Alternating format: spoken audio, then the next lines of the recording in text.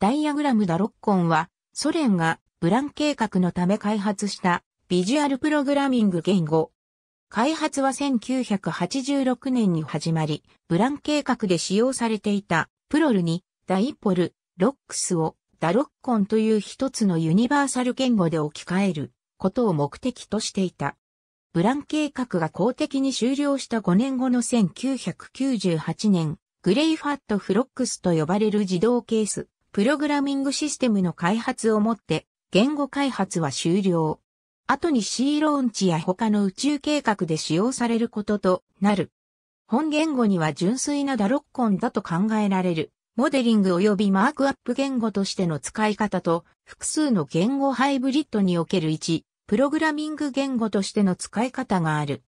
言語ハイブリッドにおいては、ダロッコン、C、ダロッコン、ASM、ダロッコン Java 等の言語ファミリーとして使用される。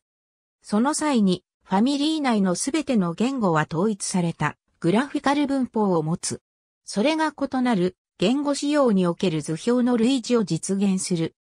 ダイアグラムを迅速に作成できるダロッコンエディターは、その実践であり、Windows、Max、Linux で利用できる。ありがとうございます。